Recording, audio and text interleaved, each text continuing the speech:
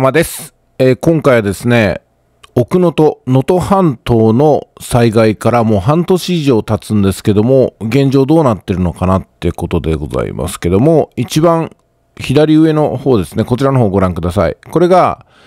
ニュースの扉絵なんですけども、未だね、仮設住宅に入れずに、まあ、現地の人は困っているということですよね。皆さんどうですかねこの半年間、野ざらしで生活させざるを得ない状況だとしたら、くたびれるんじゃないですかね。で、ビニールハウスで生活続ける人もいるということで、確かにね、自分の敷地の中にビニールハウスがいれば、雨風はしのげますし、扇風機や冷蔵庫を持ち込んで、で、ビニールハウスは最近ね、えー、やっぱ AC アダプターの電源もありますので、家電って使えるんですよ。だから、なんとかね、こうやって寒さ、暑さ、風をしのぎながら暮らすことはできるのかなと思いますけども、そういう方ばかりじゃないですからね。で、右上の方に行きますと、50億円を自由に使った人がバカ野郎って言いながらね、政界を引退というね。どっちがバカ野郎だって気がしないでもないです。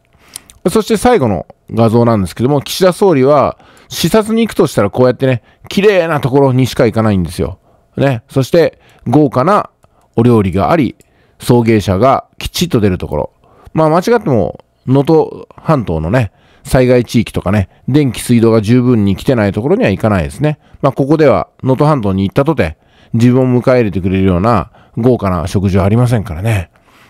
まあこういう現状がありながらの、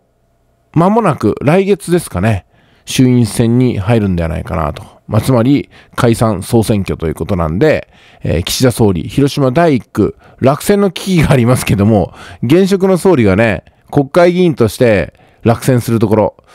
比例復活するでしょうけどね、そうなっても。うん、まあそういった顔が見たいなと思ったりもします。同じ広島県民として、岸田総理がね、えー、当選しませんようにと願うばかりでございますけど、皆さんはどうでしょうか。それでは今回以上です。